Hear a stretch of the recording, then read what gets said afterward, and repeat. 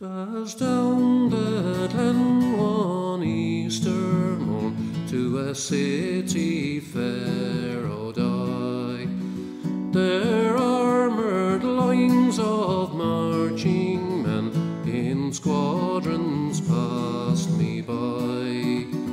No pipe did hum, no battle drum did sound its loud tattoo. But the Angelus bell or the Liffey swell rang out in the foggy dew. Right proudly high over Dublin town they hung out the flag of war. It was better to die neath an Irish sky than at Subler Stoddle Bar.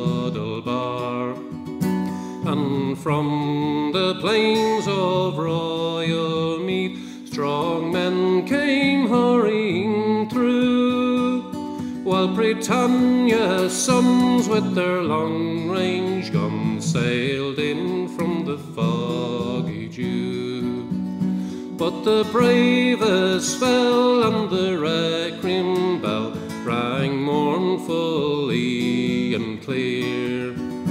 For those who died that Easter tide in the spring of the year, and the world did gaze in deep amaze at those fearless men and true who bore the fight that freedom's light might shine in the foggy dew. Did gaze in deep amaze at those fearless men and true who bore the fight that freedom's light might shine in the foggy